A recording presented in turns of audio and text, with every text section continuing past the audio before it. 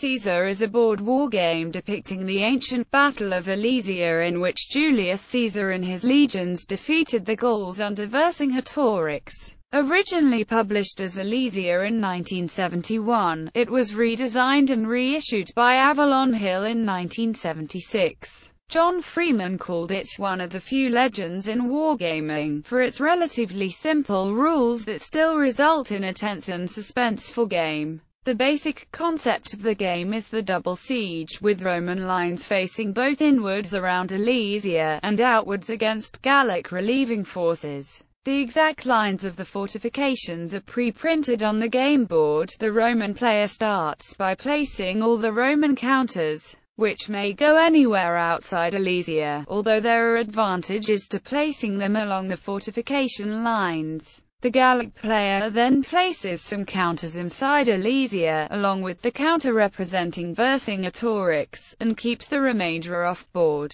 There are up to 24 turns in the game, divided into two assault periods, of 12 turns each, representing the two days of the battle. During each turn, the Gallic player moves on-board units, then the off-board units, then resolves combat with adjacent Roman units. The Roman player then moves his units, and resolves the resulting combat. The object of the game is for Vercingetorix to escape from Alesia and move off the game board, in which case the Gallic player wins. If a Roman unit ever moves next to him, he is considered to have been captured, and the Romans win. Since the Romans have too few units to cover all of the double line of fortifications, and do not know exactly the numbers of the off-board units, there is considerable guesswork in trying to anticipate where the breakout might occur. At the same time, the Romans can move rapidly along the fortifications and concentrate their forces.